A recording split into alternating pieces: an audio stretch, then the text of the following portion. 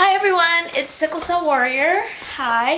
Um, I wanted to talk about the hallucinations that we have when we're in the hospital.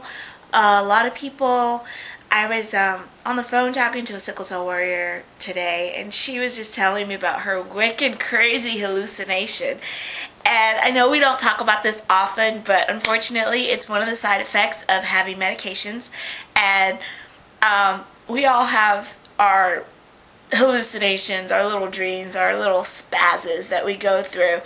And I think we you just have to laugh about it. It's not something that you should be embarrassed about. It's not something that you should be ashamed about. It's something that you should laugh about because um, it's it's it's not it's not your fault. It's not anything you're controlling.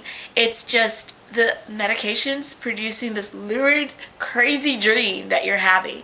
Um, the last time I was admitted, I had a dream that I was a Russian. And the nurses actually said I spoke in a Russian accent and everything. It was, I don't even know that I, I, I've never even met a Russian, so I don't know where I got this Russian accent from.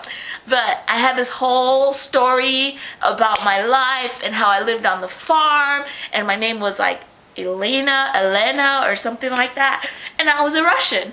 Um, and when I, you know, when I came back to my wits and came back to myself, and people are telling me all these things, you know, I could have been embarrassed. I could have been really ashamed about it, but I just had to laugh. I had to laugh about it. And sometimes that's what you have to do especially when you're in the hospital or when you are dealing with a medical condition like sickle cell. You just have to laugh. You just have to laugh about the funny things. So um, another hallucination, this one I actually remember, I thought I was Lil' Kim. I don't know where I got that from. I can't even sing and dance to save my life, but I really thought I was Lil' Kim, and I um, apparently had pulled out my IV because I was about to go to concert, and the IV, of course, was restricting me. So I actually yanked out my IV, and I'm a hard stick, so that must have been a crazy, crazy hallucination to make me pull out my IV.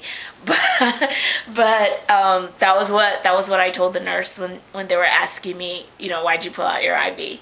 Um, I remember telling my sister once that I um, was a Egyptian princess and I had seven brothers. And that she was she was humoring me because she knows at this point. She's been with me in the hospital through many hospitalizations.